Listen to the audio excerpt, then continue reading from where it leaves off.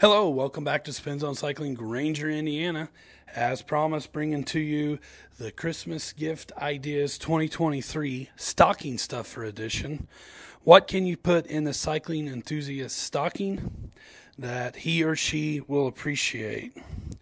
We've got a lot of consumables uh, here on this list, items that um, the person in your life may already have stocked up for all their cycling adventures but it's stuff that they're going to go through and if you get it for them eventually you use it. So stuff that they're going to appreciate. First item on the list for our christmas gift ideas for stocking stuffers here at spin zone is chamois creams. Um, it's something that they use every single ride. So it's something they're going to go through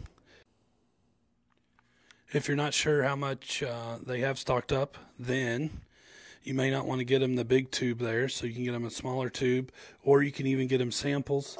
Samples are a great idea if you're not sure um, what their favorite chamois butter is, or chamois cream, I should say, rather it's chamois butter or buttonhole or Hoo Glide. Um, they're all pretty similar. Um, they all uh, accomplish the same thing, um, but everybody does have uh, his or her favorite. So, um, if you're not sure um, what kind they like in particular, you can get them a small sample size. That makes it easy for them to carry in their bag in case they get to an event. Um, in their in their frame mounted bag on their bike in case they get to an event and they realize their event vac- bag where they had everything packed um, didn't have any chamois butter. Um, that's going to make them miserable the next day after the event. So if they have backups like that, or sample sizes are just good to try different kinds, um, especially if it's something that they're not used to using. Um, or if they've only tried one kind, um, you know, they're probably going to be open to trying different ones um, to see if it affects them differently. Similar to that is nutrition. Again, nutrition is an item that they're using probably just about every single ride. Um, you may not know what exact flavor they want or what brand they like, um, but you can get them um, pretty much any type of small nutrition, that stocking stuffer, it's something that they can keep in their bag. They can try different flavors, try a different brand, see how they like it, and see how it affects their performance. You can get them gels, chews, um, hammer bars. Um, you can get them um, water additives too to help them stay hydrated during their ride. So the fizz tabs, um, the Skratch Lab hydration mixes, anything like that is something that they're going to use up. Other consumable is going to be chain lubricant. So a bottle of this, like Dumonde Tech, this size, can last quite a while. But if somebody's really um, being diligent on keeping their chain lubed up, they're definitely going to go through it. Um, so another small tube in their stocking is definitely not something they're going to turn their nose up to and say, "Well, why'd you get me this? I already have some." Um, it's always nice to have an extra bottle, especially if you um, if you set it down somewhere. Um, you know, falls down underneath your workbench or something, maybe hard to find. If you got an extra bottle, you can keep taking care of stuff. Um, inner tubes are something that all the serious cyclists are going to have stocked. But if they're riding a lot, they're eventually going to um, get a puncture in their tire, in their tube, and have to swap it out. So having backups, it's nice. Even if you just keep them um, stocked somewhere in your garage or wherever you store your bike. And when you do take one of those trips, that you have to swap out your tube halfway through it. Um, when you get back home, you can take one of these tubes out of the box, throw it in your bag, and you've got your backup tube for your next ride. Um, it's always nice to have backup tubes for your backup tubes. So when you use them, you can throw it in. You don't have to worry about forgetting about it. Um, oh, next time I go on a ride, I need to get another tube because I'm probably eventually going to use it. Um, I'm pr- probably going to eventually going to need it.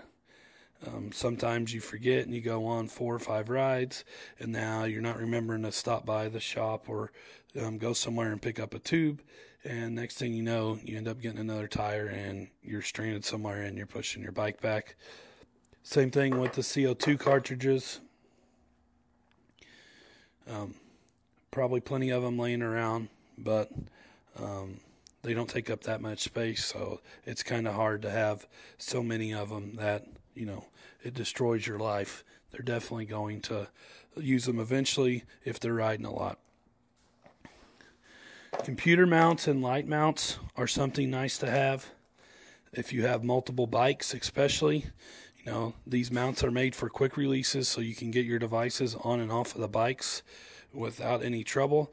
Um, if you have to switch them from one bike to the other, though, and you don't have an extra mount, then it can be a little bit more difficult to get those rubber bands or those clamps or whatever it's using, um, whatever the device is using to mount it to the frame.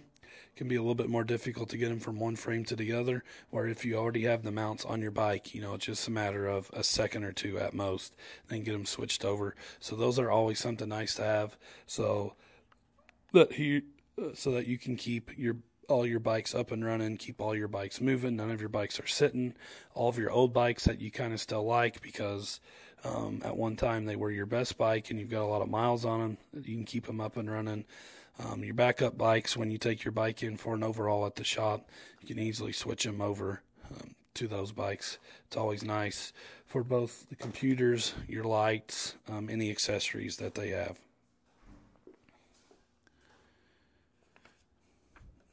Next on the list um, are some tools. So, a spoke wrench is a small little item that can sneak into the stocking stuffer, sneak into the stocking, as well as a Y tool. Um, spoke wrench, those are always nice to have extras um, for multiple bags that you use for all your biking adventures. Um, if if they're someone who carries extra spokes, um, having a spoke wrench, obviously, to help you get um, your broken spoke fixed is nice. Um, or to just have a couple of them so that they're easy to grab. You don't have to look for it. Um, the Y tool is nice, so you don't have to have multiple tools. If you've got a Y tool like that, um, 90 95% of the um, small screws on your bike if not all the small screws on your bike, you're going to be able to do with one tool and not have to keep track of multiple tools. So those are nice, and both of those again are nice. Um, just small tools that they can put into their frame mounted bag and helps them in emergency situations. Cleats are an item that is going to get consumed and used up quite a bit it's an item that's neglected when it's consumed quite a bit, I should say. Um, so if they're still functioning and um, you're you're able to stay relatively clipped in, then it gets neglected a lot of times. Um, but the cycling experience can be improved if you upgrade your cleats, you get new cleats, and stop using the old ones. Um, along the same lines as cleats, obviously, are cleat covers. So um, they're really, really good for the road rider. Um, the road rider sometimes spends um, so much time on their bike on long distances. You know, if they're um, biking out of their garage, then they're on the bike in their garage. They ride out. Um, you know, they may go 30, 40 50 miles, come back into the garage. And so cleat covers are something that they've never thought of. But when they're at events, which is, you know, once in a while when you compare it to the majority of their cycling, um, if they're if they're just doing a few events a year, then they're going to be walking around more than when they are biking at home. So cleat covers are nice. It's kind of an afterthought for a lot of people, um, but if they have them, then they're going to use them like crazy. Um, they're nice for group rides while you're waiting on everybody else, or they're nice for cycling around town if you need to go into a shop, um, into a convenience store, grab something real quick, and come back out. Um, definitely something nice to have, especially for the road cyclist. Um, for the trail cyclist, um, not quite as important because usually their shoes are um, made a little bit better for walking on the trail and in the dirt. They have a smaller cleat that's up, kind of up inside the um, thickness of the sole, um, so it doesn't touch the ground as much.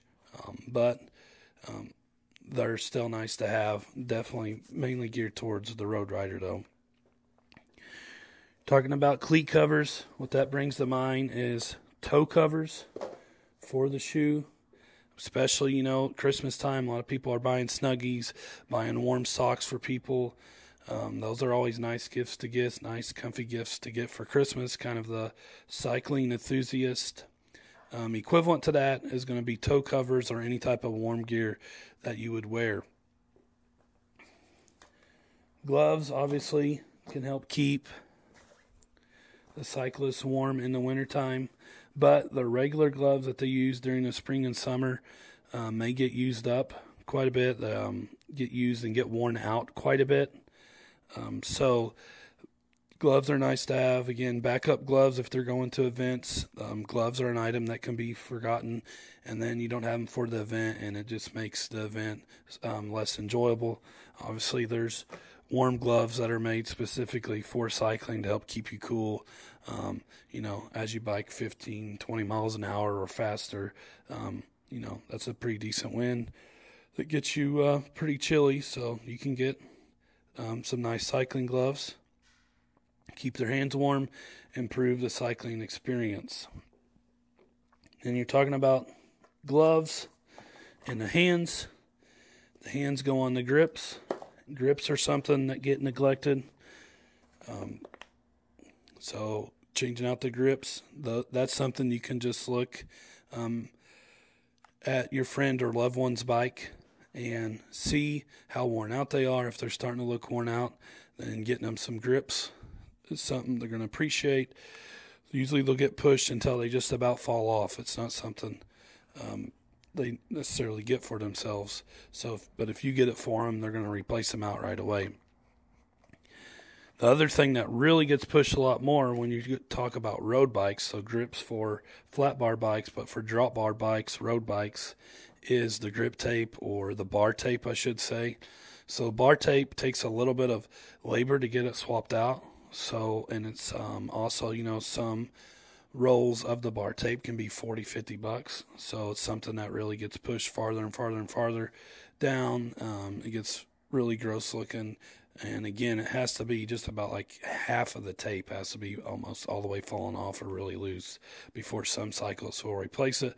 But if somebody else spends the 40 50 bucks on them um, then they're going to take the time to swap out their tape and then um, as soon as they're um, riding again it's going to make their cycling experience enjoyable.